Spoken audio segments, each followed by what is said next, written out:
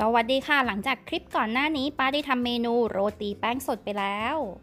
บางคนอาจจะยังรู้สึกไม่โอเคกับสูตรนั้น หรือว่าอาจจะยังรู้สึกเอ๊ะไม่ค่อยมั่นใจ เอาละค่ะ ดังนั้นวันนี้เรามาต่อกันที่เมนูนี้ แซงว่าโรตีดิบ ซึ่งจริงๆแล้วมันก็คือไดฟูกุ ราดนมข้นหวานค่ะ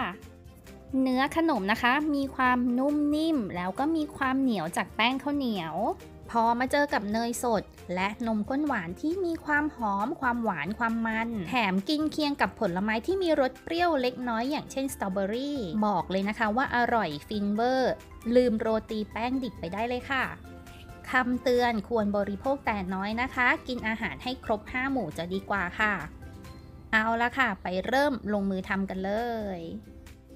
เริ่มต้นค่ะ เราจะมาทำแป้งนวลกันก่อนนำแป้งมันมาครึ่งถ้วยตวงหรือว่า 65 กรัม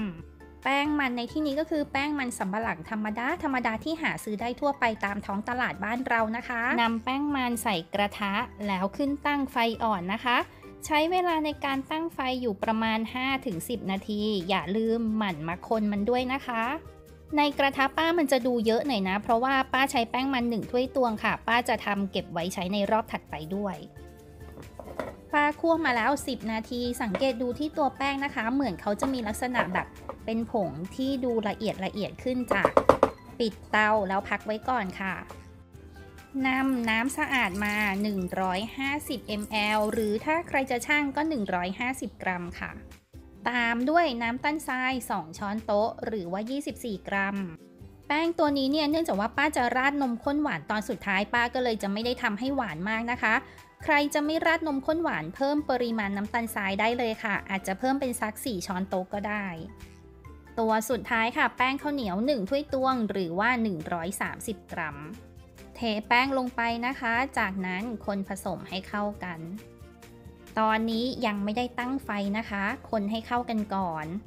น้ำสะอาดในสูตรสามารถเปลี่ยนไปใช้เป็นน้ำใบเตย น้ำอัญชันอย่างนี้ก็ได้นะคะ ถ้าเกิดว่าอยากให้มันดูแบบมีสีสันอ๋อแล้วลืมบอกไปค่ะ ในการคั่วแป้งนวลบนกระทะตอนเริ่มต้นคลิปอะนะคะ สามารถใส่ใบเตยเพิ่มลงไปได้นะ ถ้าเกิดว่าอยากจะเพิ่มความหอม แต่ว่าไม่ใส่ก็ได้ เอาละค่ะ เมื่อส่วนผสมเข้ากันแบบนี้แล้วนะคะนำขึ้นตั้งไฟเลยค่ะ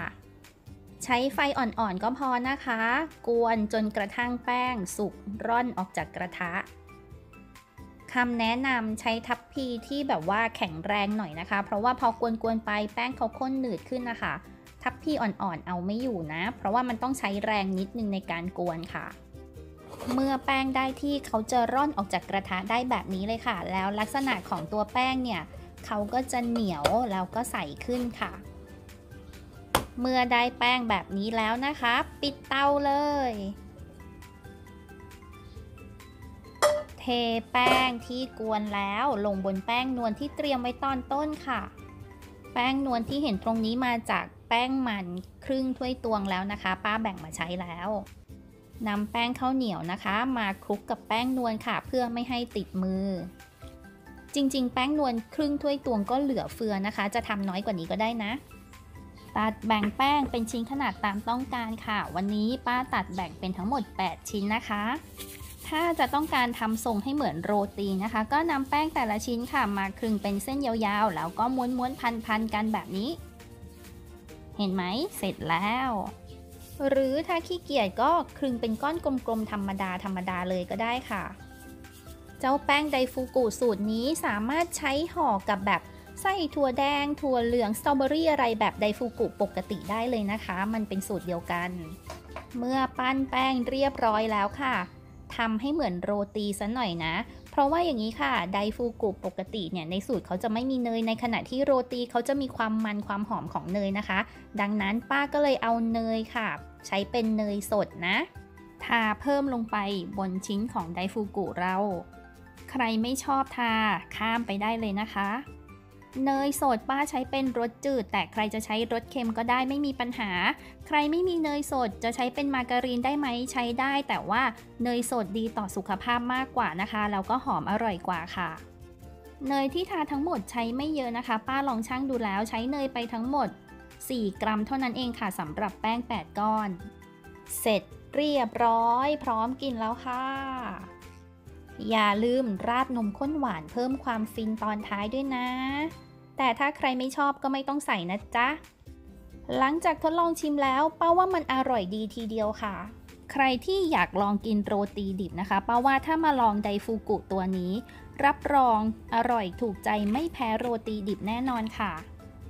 ใครอยากทำขายป้าว่าก็ทำขายได้นะคะ ในช่วงที่โรตีดิบกำลังฮิตแบบนี้เนี่ย เพียงแต่ว่าอาจจะต้องแยกนมข้นหวานไปต่างหากให้ลูกค้าราดเองทีหลังอะไรแบบนี้ค่ะ เอาละค่ะ เดี๋ยวมาดูในส่วนของต้นทุนวัตถุดิบกันนะคะ เริ่มที่ตัววัตถุดิบของตัวแป้งเปล่ากันค่ะ แป้งนวลหรือว่าแป้งมันนั่นเอง2บาท71 สตางค์คิดจากแป้งมันถุงละ 20 บาท 480 กรัมนะคะ น้ำกะเอาว่าสัก 1 บาทน้ำตาล 60 สตางค์น้ำตาลนี่คิดจากกิโลกรัมละ 25 บาทเลยนะคะ ซึ่งจริง ๆ ไม่ถึง แป้งข้าวเหนียว 6 บาท 50 สตางค์คิดจากแป้งข้าวเหนียวถุงละ 25 บาท น้ำหนัก 500 กรัมค่ะ เหมือนแป้งข้าวเหนียวขึ้นราคาไหมหรือว่าป้าซื้อร้านขายแพงก็ไม่รู้นะ คุ้นๆว่าปีที่แล้วมัน 20 บาทน่ะรวมต้นทุนวัตถุดิบแป้งเปล่า 1 สูตร 10 บาท 81 สตางค์ 1 สูตรนี้ป้าตัดแบ่งได้ทั้งหมด 8 ชิ้น ดังนั้นต้นทุนวัตถุดิบต่อชิ้นจะอยู่ที่ 1 บาท 35 สตางค์